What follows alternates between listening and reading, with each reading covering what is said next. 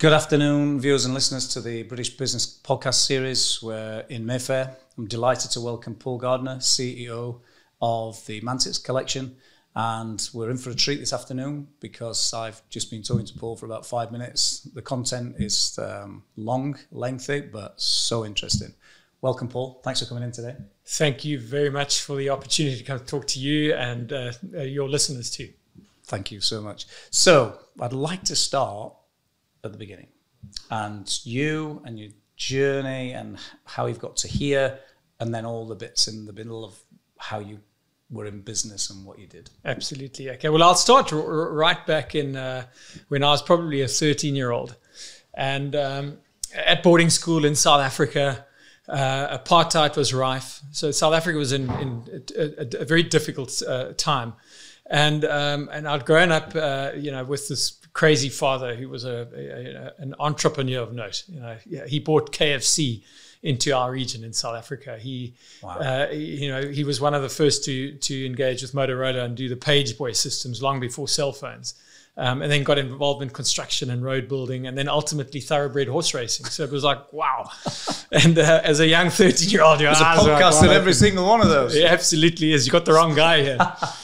um, so then what happened was uh, he got out of racing and um, was very keen, like most South Africans, to own a patch of Africa. You know, you want to have a, a game reserve with wild animals.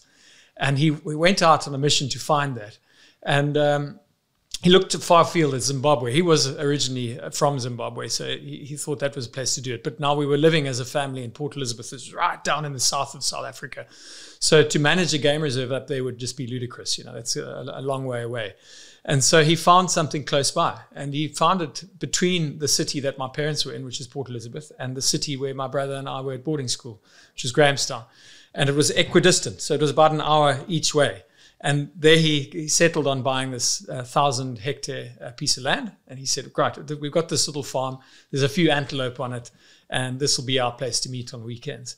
So we thought, fantastic. And, uh, and he had just got a nice check from selling his, um, his thoroughbred stud farm. So we were a happy family. And then uh, the farm next door came up for sale, and he snapped that up. And then the next one came up for sale. And before he knew it, he had 10,000 hectares. Wow. And uh, with nothing. It was sheep, goats, and cattle. And he thought, what the hell am I going to do with this now? Yeah, but the farms were going for nothing. You could buy a farm for 20 pounds a hectare, which is just ridiculous. And um, then the penny dropped. He started researching um, what wildlife had existed there 200 years prior. And believe it or not, he got access to the settler, the British settler history, um, and the settlers that had settled there in 1820. So if you go back to the early 1800s, there was the Napoleonic Wars, yes. and then there was this huge socio-economic crisis across Europe. And how the Brits dealt with that was they decided to send 6,000 people down to the Eastern Cape because they obviously had a territory down in South Africa. Yeah. And they said, you're going to go and settle there and, and farm there. And 6,000 people put their hands up and they were put on ships and they sailed all the way down to this uh, to Port Elizabeth, then called Algoa Bay. They were each given um, ox wagons and, and, and a head of cattle, and they were told to go and find their farm and go and settle the land. And so they would document in their great big Bibles that they carried with them on those ox wagons all the wildlife that they saw in their diaries. And uh, so some wise fellow, fast forward 200 years, got hold of all those manuscripts and published a book on the encounters of these British settlers. And uh, that was the blueprint for what my father was going to go and do. He started reading about, up about all this wildlife and he started to bring back what he had read up about 200 years prior. So it was a fascinating time. So the first animals to arrive on this 10,000 hectare reserve were uh, elephants, five baby elephants, and then um, some rhino, and uh, hippo back in the river, and then the giraffe. And you know, I was, a, as I said, a 13 year old growing up with this. I mean, what more could I ask for? My wow. brother and I was just lapping this up. Have this maverick father. What year was that? That would have been 1989, 90, 91, 92. Okay. The building of this game reserve. And uh, its name became Shamwari, which is uh, a Shona word, a Zimbabwean word, which means my friend. Okay. So dad had taken that name from Zimbabwe and, and established this reserve. And it, of course, we were coming out of apartheid, as I rightly mentioned to you, and uh, the country was on the brink of a civil war. And Dad had spent every penny he had made on the on this stud farm he had sold on this game reserve now to try and turn it into a game reserve, a successful game reserve. Sure. But um, you know, it, it, there was zero tourism in South Africa. Uh, because you know nobody wanted to set foot in this uh, apartheid country that was on the brink of a war, and then of course uh, he almost lost everything. I mean, he was ready to throw in the towel. My brother and I were almost pulled out of this very expensive boarding school. And uh, it's amazing how many entrepreneurs have, have that statement said about their life. I nearly yeah. lost it all. And it's, I think it's part of the entrepreneurial DNA. 100%. They're prepared to yeah. lose everything because they probably are confident enough to, to get it all back again if you don't have that DNA, don't don't don't venture down that street. I mean, I don't I don't pride myself in having that DNA. Dad, Dad's unique, and and I've come across a lot of these people that you know they lose everything, but they build it up again. They they um, they're not gun shy. They just go for it. So no, so yeah, so ninety two roll around ninety three. We had the first elections, or ninety four, I think it was, and then still there was very little tourism. Shamwari was hemorrhaging and then we had this miracle moment. 1995 comes along. South Africa's awarded the 1995 Rugby World Cup. Wow. And Nelson's around the corner and he's there and he adorns the Springbok rugby jersey and he sort of brings this uh, Afrikaans and this African together through sport. And it's this beautiful moment and it's turned into a movie, Invictus. Yep. Hollywood couldn't have scripted it better. it's a real goosebump moment. And the world was watching. South Africa pull off this international event, and we did it successfully. And the, the cherry on the top was obviously South Africa winning the tournament. Yes. And then the floodgates to tourism open, and we never looked back. I mean, the uh, you know this game reserve was the closest game reserve to Cape Town. Nice big box tick. Uh, Dad coined the phrase the malaria free safari because typically you have to take those terrible yeah. uh, drugs to fight off a malaria. And suddenly we, we established a game reserve in a malaria free area. Then he had uh, got a phone call from the uh, actress Virginia McKenna of Born Free, the movie, saying, "Listen, she's got some animals that she'd like to rehome, some lions, a pair of lions. Can can we take them?" And we said, "Yeah." And we created a sanctuary for these lions. And uh, you know the PR that came with that. Wow. I mean, live television crossings, Hello Magazine with celebrities. It was just like wow. Before social media, you had to rely on other means, and that's how we did it. Dad was an absolute guru and a mastermind at PR and so he put this place on the map. And um, it was tough for him. He had a lot of people laugh at him when he was bringing back the first elephants. All those farmers that surrounded him said, geez, who's this joker bringing back these elephants? And, um, uh, you know, he, he managed to get some big endorsements from people like the late Dr. Ian Player. Uh, you know, he was like the Attenborough of South Africa. Okay. And Dad will often tell you the biggest thing in, in building a business is to get endorsements. Um, it, it, it really helps you along. And, uh, um, and, and, and so that belief in those big people in conservation really helped us turn the ship around too.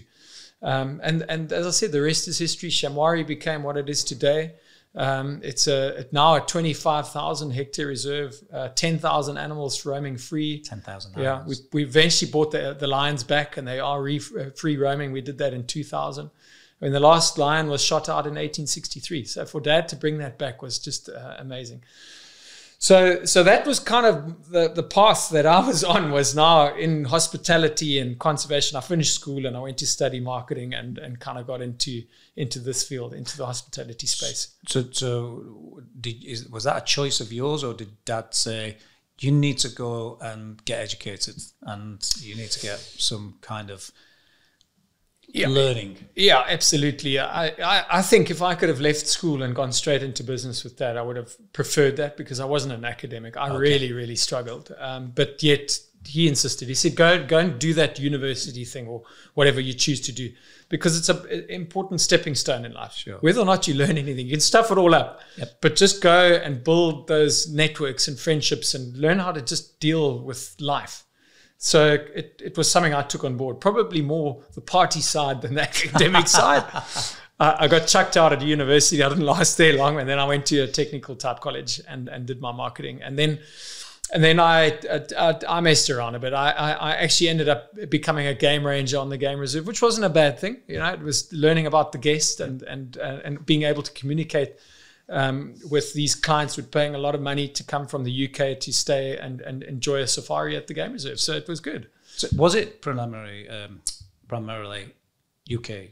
Yes, hugely. Is that hugely because of the marketing you did, or just I think so. I think the Born Free piece played a big role. Um, uh, uh, uh, the British like self drive in South Africa. They like to hire a car and go and explore. They're quite adventurous. Yep. Remember, in South Africa, you also drive on the same side of the road as you do here.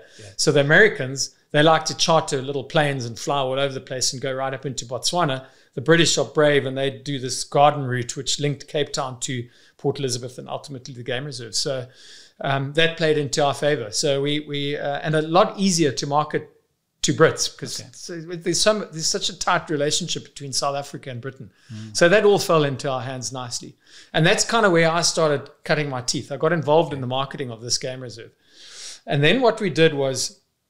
Um, off the back of the success of Shamwari, we um, established and developed other game reserves. Um, we had the blueprint now, so we know how to do it and and rewilding became a bigger part of, of our journey. Um, and we took on a project called Sanbona, which is uh, the size of Singapore as a game reserve, and we rewilded that, and that was even closer to Cape Town. Uh, we, we bought a, a couple of other hotels, and then we had inquiries from other people saying, "Can you manage our properties?" And that was quite interesting because now we're earning fees. We we don't have the risk, but we we're looking after your property on your behalf. So there was a management uh, play there, and and in 2000 it was time to actually come up with an umbrella brand name for the group. And so again, Dad consulted uh, Dr. Ian Player, who I mentioned to you before, the, the guy that gave us all the endorsements, and he came up with a clever name, and it's named after the mantis, uh, praying mantis, the the little insect. Sure. And the praying mantis is an interesting one because uh, it's one insect that you find on six of the seven continents, um, so it's everywhere. And um, we came up with the most beautiful acronym for this little insect, which is man and nature together is sustainable. And so we live by that as a hotel group today. And we call the Mantis Collection today as a result of that, that little uh, journey, the building of Shamwari, acquiring these other assets, and then putting this name on top of it. And so today we try and live by that. We take, we've taken that DNA, that Shamwari DNA, and we try and roll it out wherever we go to on this planet. Um, and the idea is to take Mantis to all seven continents. Right now, we're on Africa, obviously. Um, we're born of Africa. Uh, we have a great relationship with the, the most beautiful um, lodge called White Desert. Believe it or not, that's on Antarctica. And it's the only one of its kind. Wow. Um, so you would fly from Cape Town to Antarctica. It's a five hour flight, it's very close. You land on an ice airstrip, and it is the most surreal experience you've ever been on. It's it, for me it, it, the closest thing I can relate it to is probably going to the moon. It is- Wow. it- is so foreign to to us as humans, and I was one of the very f- uh, uh, few privileged people to have gone there. And I was there in November now, and um, uh, we spent a week there. And it was just as Omicron had been announced in South Africa. Remember the the, one, the strain? Strain, yeah. The world just went in, back into lockdown, Yes. and we thought, oh god. And we were leaving at six the, the following morning, and we, we got to Antarctica, thank goodness. And it was so nice not to have internet or anything out there, just escape and go and spend this magnificent time on on um, the seventh continent. And I mean, it's sparse. It is.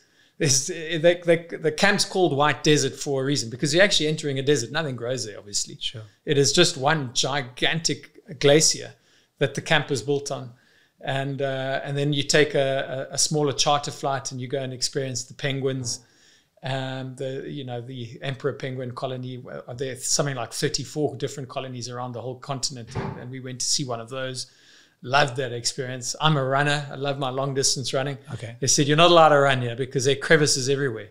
The only place you can run is on the th- three kilometer long airstrip. So I said, right, I'm going. I put my shorts and t-shirt on, thinking I'd be fine. And then a, a bit of a blizzard came up, just a just a breath of air, and you feel that. Bloody hell, I was colder.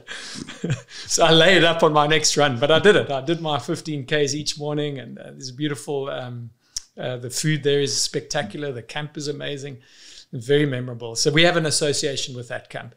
Um, but we're also in other parts of Africa today. We, we've got a, a, small collection of boats called the Zambezi Queen Collection, and they sail on the Chobe River, which ultimately becomes the Zambezi.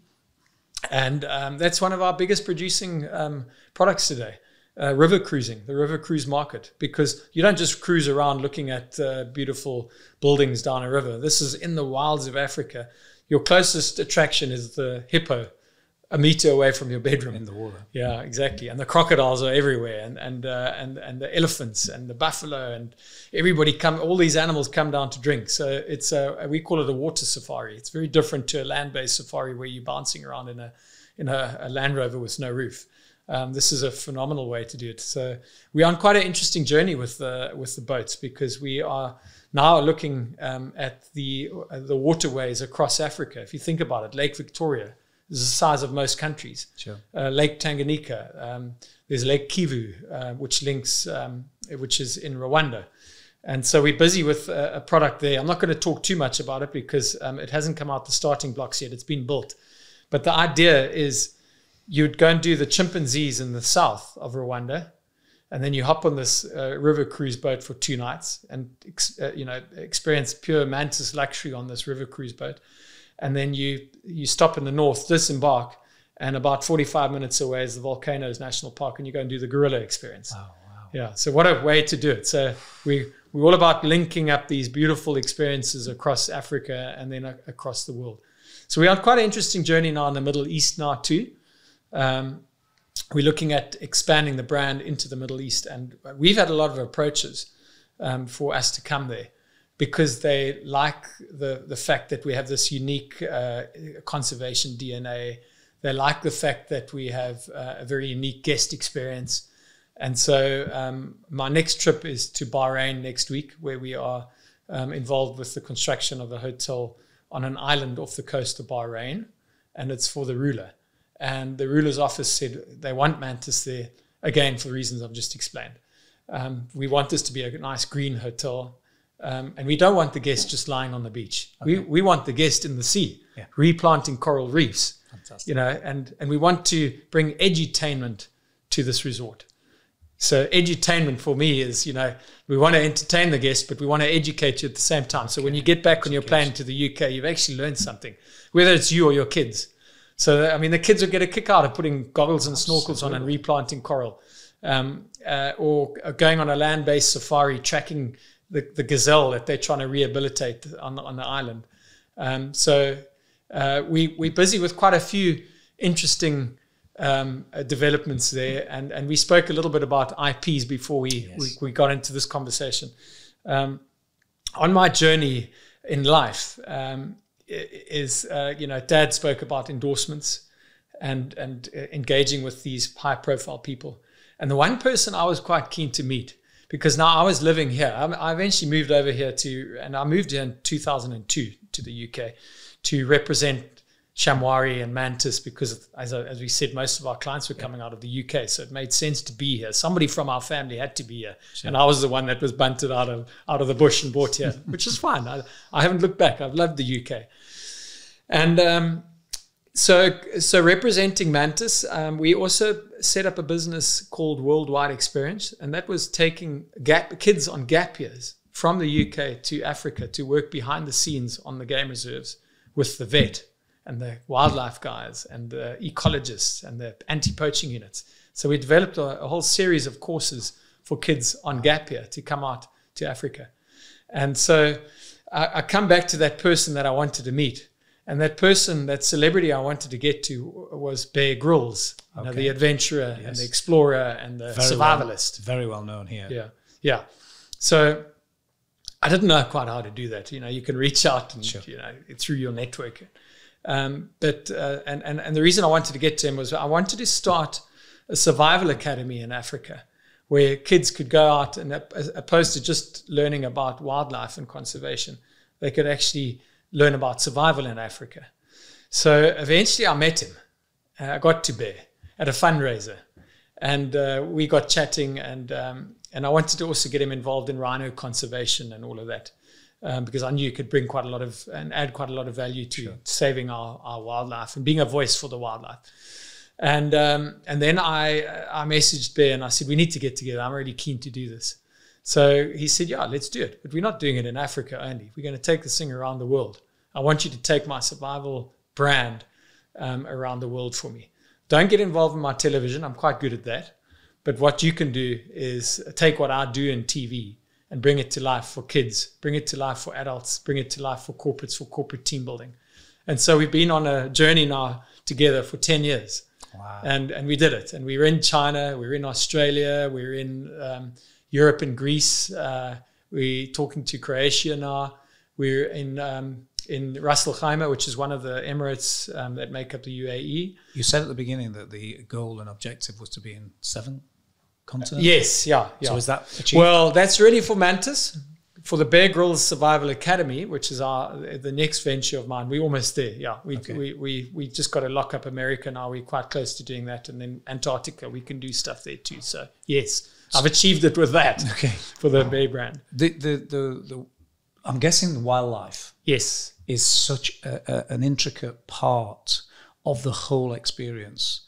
So, did you see the um, wildlife um, organization come out with this statement last week about the 70%?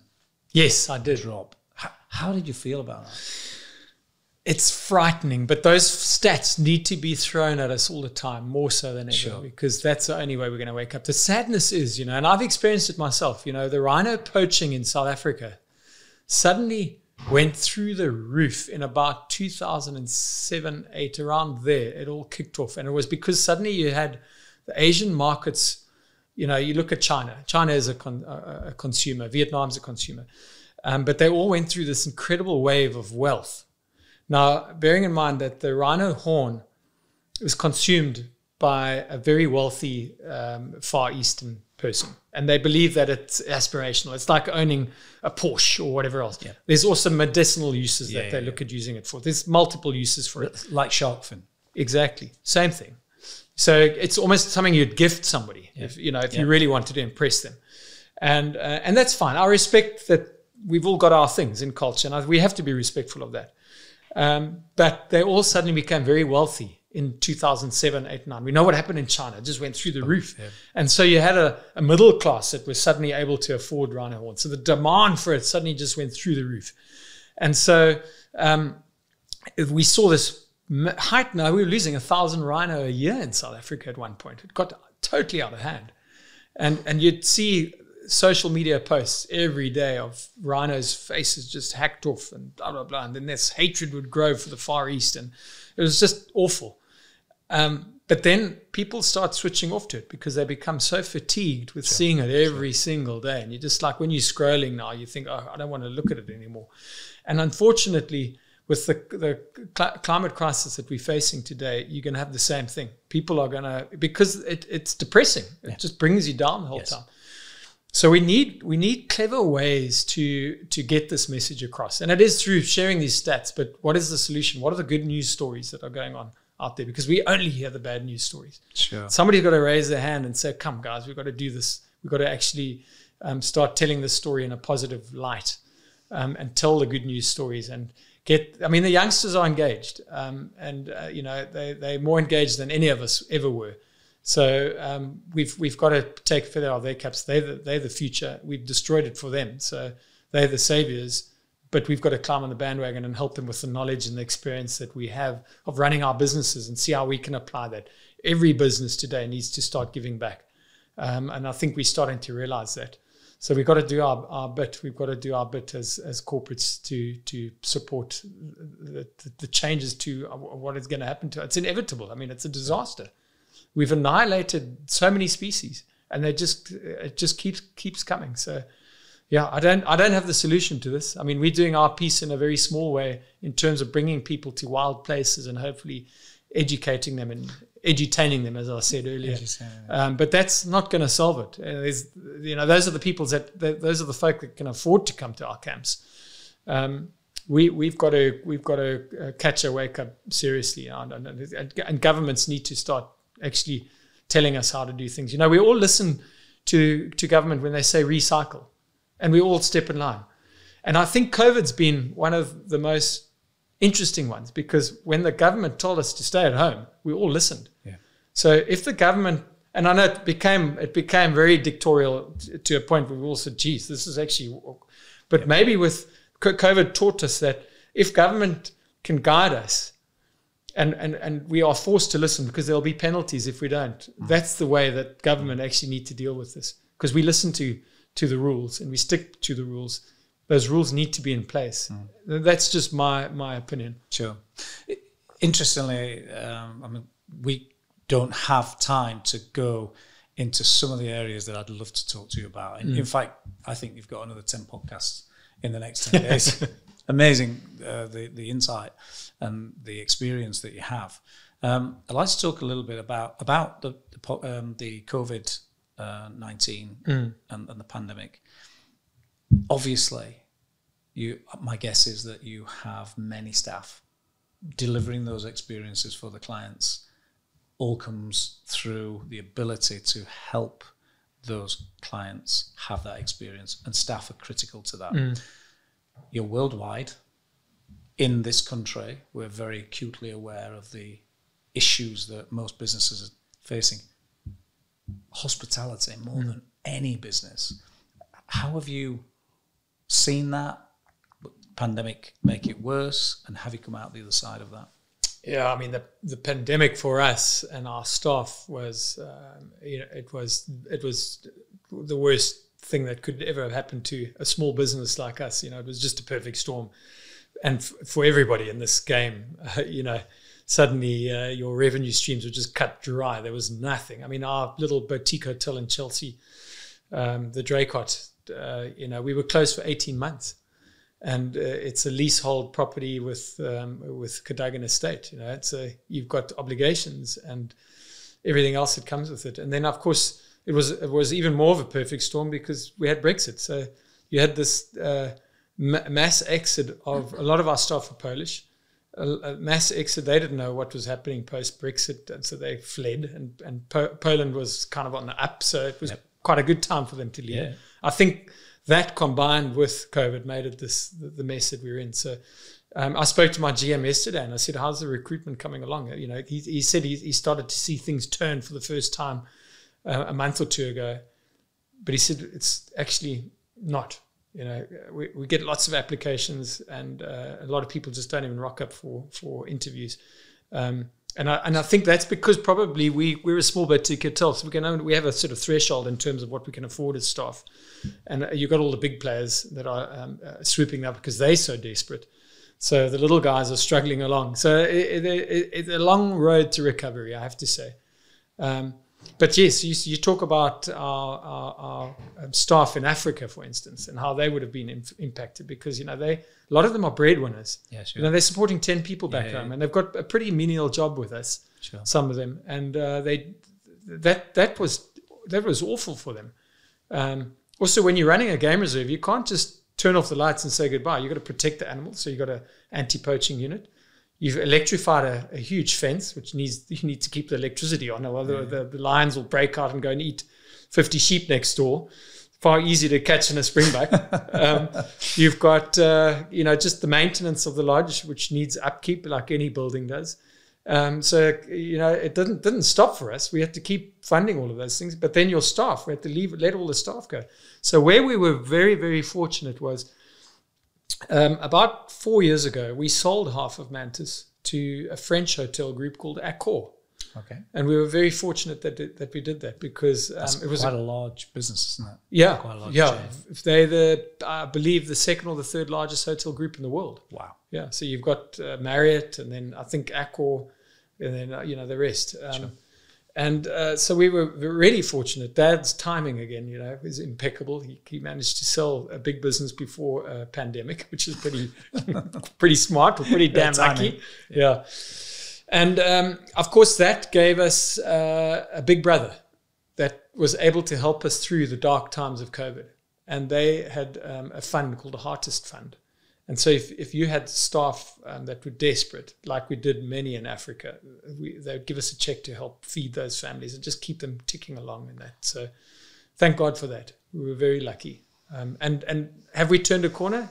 Yes, we're back. We're back. We survived. Thank God we survived this, and we are now firing on all cylinders. We've got an interesting pipeline. I mentioned to you in in the Middle East. Uh, you know, UAE, Bahrain, Saudis. Saudi is such an interesting place. Lot of people frown upon it. You know, there, there are issues. Um, I say to those people, South Africa had issues. Remember that. And if we didn't give Nelson Mandela a chance, Monday. where would we be today as a country? So I think we've got to we've got to give that country a chance. The the ruler is trying to change things. Uh, you can imagine there are a lot of super conservative families there, and you've got to respect them. And he's the one trying to, a youngster, he's 35, 36, trying to change those people. It's not going to be easy. Um, this morning they're talking about bringing, um, uh, allowing you to buy alcohol at duty free at the airport. That news just broke recently, and I read about it this morning again. Um, which will, you know, help them transform tourism because they want to get tourism right there. And of course, us Westerners like to have a drink in the evening. We like to have sundowners. So that's the starting point. Um, things are changing for women there, which are very positive. So, so Mantis is pretty proud to be associated with a country that's transforming because we went through it once before, and um, and, and it's exciting times for us. So um, we're feeling bullish. It's gone like within seconds. uh, if I've, half an hour has just flown. Thank Is there anything that you've not mentioned that you, you thought, oh, I wish I'd have talked about this bit? Have you covered lots of stuff that you I think, I think there's a lot for your listeners Yes. to digest there, and I think um, I think they probably ask me to shut up.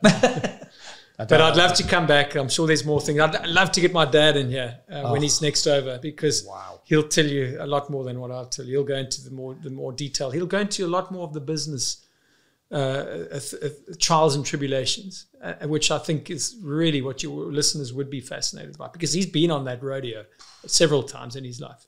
That would be amazing if it, and we'd love that to happen, and we'll work Yeah, well, hard to make that happen. good. Um, thank you so much, Paul, for coming in today. It's been fascinating, and I, and I can't wait to actually have a pint in the pub with you and talk about other things. But Thank you for having me, Michael. I really appreciate it. I, uh, thanks to your listeners. our, our pleasure, and our listeners and, and viewers will uh, will absolutely echo what I say. Another amazing podcast this afternoon, and I'm just going to go away and take my breath. And until next time.